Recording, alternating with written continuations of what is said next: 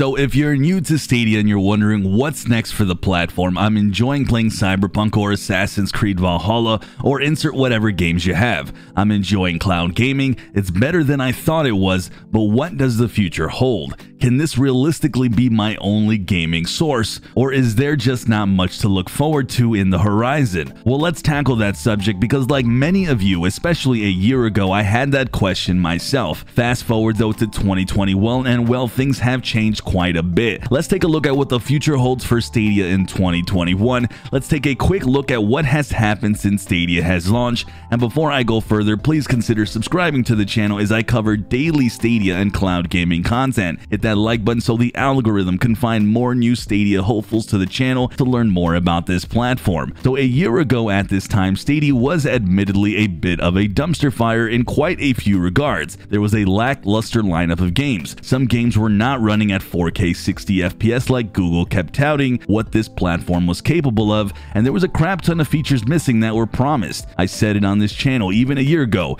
Stadia was in a full-blown beta and we were the paid participants. I held no punches despite the fact that I was covering Stadia because I do tell you guys the truth on this channel. But one thing that I realized despite all of those flaws was that this thing worked insanely good. I thought cloud gaming wouldn't possibly be truly ready for many years. Well, Stadia fixed that misconception extremely quick, and they've had the most important part functioning since the start, and that is just that it flat out works and it works well. But what about now a year later? What transformations has Stadia gone through? What have they learned? And is this platform still of a bit of a mess a year later? What can we expect in 2021 and beyond? Well, let's go ahead and take a quick look at a bunch of things. When Stadia started the year 2020, in January, they had announced that 120 games would release on Stadia in its first full year. Fast forward, the platform has overshot that number and is sitting at around 135 titles. Now consider this, in January, we had no idea idea what was coming ahead in regards to massive delays all across the industry due to CV19. Many games have been delayed, yet Stadia did manage to over-deliver on that promise.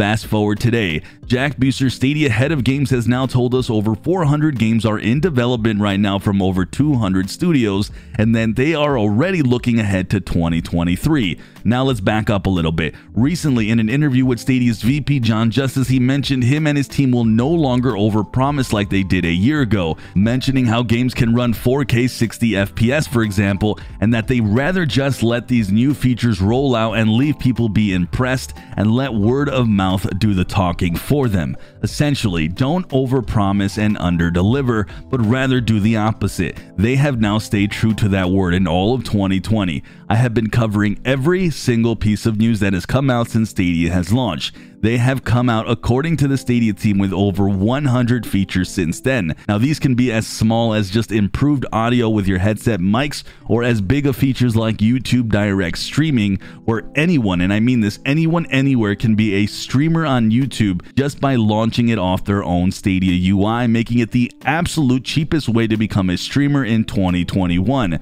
But that wasn't the only feature we've seen in 2020. Family sharing has now been launched. If you're a new Stadia user, you can share your entire library with your friends and family, and they can play your library completely free. A new UI has rolled out, but I will admit this is still anywhere near perfect, and it still needs a lot of improvements all across the board, but they are at least hammering it out, and they're making sure that it's functioning better. We now see the launch of Ubisoft Plus on Stadia, as well as Stadia Pro, including over 30 games on just sign up, making that Netflix model more and more prevalent for those who want to spend their money with that type of model. But but some of the absolute biggest things to have launched this year is just more access to more devices, more countries. We saw the launch of Stadia on more Android devices as when this first launched, it was just limited to just a few phones, guys. Now it's playable on most, and this includes the recently added iOS devices. We also recently just saw the expansion to 8 new countries, but admittedly, again, there is so many more that they need to reach to.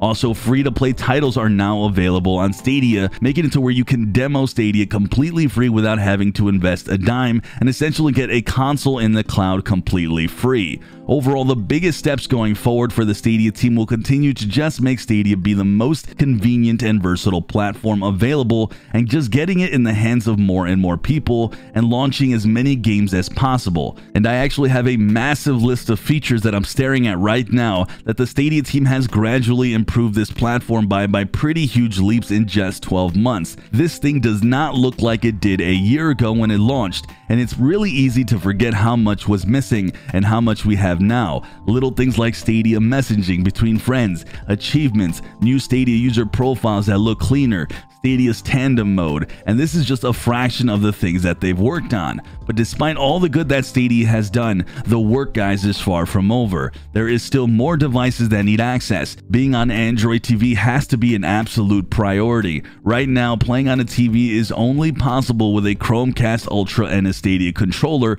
unless you do non-official things like sideload the app but your Stadia experience won't be the greatest. Games releasing more consistently day in day, and while I think this will change in this upcoming year and you'll see that consistency, it still needs to happen. All games running at 4K 60 FPS, Stadia needs to hold developers accountable and make sure they are utilizing the full power of this platform. Games like Doom Eternal and Division 2 can run Stadia at its peak performance and look amazing and run great, so there really is no excuses for other big AAA titles to a not least give us a visual or performance mode option. Obviously, guys, not all is completely rosy yet with Stadia. It's still far from a perfect platform, but the state of Stadia in 2021 is far and wide, in my opinion, the best this platform has ever been. You can tell the investment in the future is there, with so many games in development, Stadia owning multiple studios of their own that are building cloud-only games. Guys, keep in mind, when you don't have to develop for a console sitting in someone's living room or PC, you can stream your game from these massive data centers powering some of the most insane hardware. The limitations of what you can see in a video game erase. Imagine the unimaginable. Whatever your dream game is on a massive scale, it can be possible with something like Stadia, and that's the future of what this platform can hold. Then we take a look at the general gaming landscape, and Stadia will be seeing these AAA titles that other consoles will see. Far Cry 6 coming in 2021, Resident Evil Village. We just saw the release of Cyberpunk 2077 run better than most consoles right now. Stadia is an evolving gaming platform that will just continue to get better on the back end, all the while you're just gaming. You're not seeing all this magic happen like we did this past year with features dropping left and right while we're just busy doing our thing. Stadia's future will continue to go down this trend, and you can tell the team has gotten a lot better at not only communicating with its gamers by hosting founders forums and a Reddit where they talk to the community, but they have learned from their past mistakes, which is what I was hoping to see as a consumer. To realize if I wanted to continue to invest my money into this platform and to realize that they are at least learning from their past mistakes. The future of Stadia and what you'll see mostly going forward in 2021 and beyond from all accounts will focus on more features, more and more games, and more and more accessibility, and just flat out making Stadia itself more powerful with faster load times, more instant gaming. At least this is what's been told, and after what I saw this past year, I'm going to say that I completely believe them because they have been delivering in 2020. But of course, it's up to you to decide if Stadia is right for you going forward in 2021. Let me know your thoughts on Stadia's future going into 2021 and beyond. What has impressed you the most or what has disappointed you? Where do you want to see Stadia continue to improve on? And will you remain using Stadia for the foreseeable future? Let me know all that down below and make sure you're hitting that like button and subscribing as I make daily Stadia and cloud gaming content. I'm Sunny, and like always, I'll see you guys in the cloud.